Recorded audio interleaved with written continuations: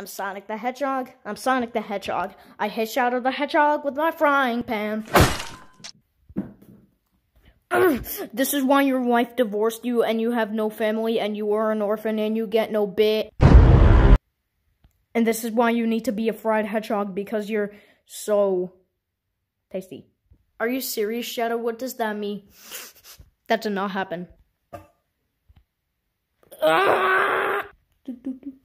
This is fine. Ah! Ow! My ears burn!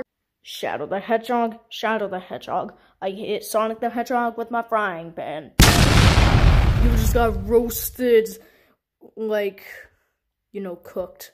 And also, guys, click this, click the website. Hold on, I'll, I'll help.